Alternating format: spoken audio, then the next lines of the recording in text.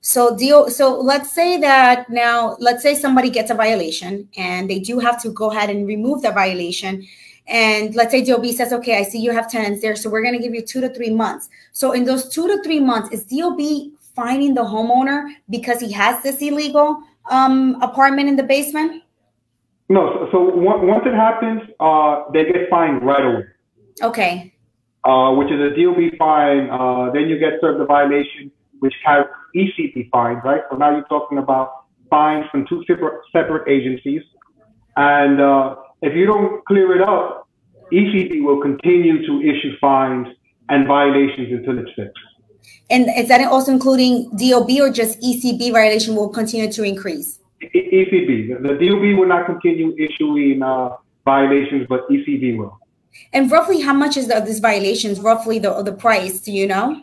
It, depends, uh, honestly. Uh, I've seen them 1500 I've seen violations 12,000, 20,000 depending wow. on the severity of uh, the violation. Up to twenty thousand dollars you can get fined, and that's just DOB. With ECB, what are you looking at that, and how often? Do those, were, those fines were ECB. What I'm telling you. So up to twenty thousand dollars. It's About fifteen hundred, five thousand. The ECBs are the higher one. I, I had a client uh, who had, you know, someone living illegally in the basement. Uh, unfortunately, a fire broke out. Mm. Got hit with a whole bunch of fines, and she had you know, fines that were worth more than what the house was. Wow. So, so you know, we we we had to get attorneys, fight with the city to at least reduce uh, the fines.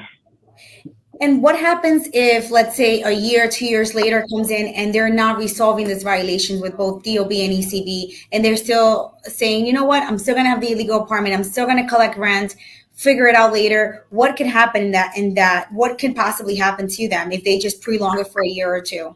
Right. So, so once uh, DOB issues it, uh, and they're kind of satisfied in the front, you know, they, they won't keep going out or harassing you. But like I said, if you don't correct it in ECB every few months, they'll issue another violation and another fine.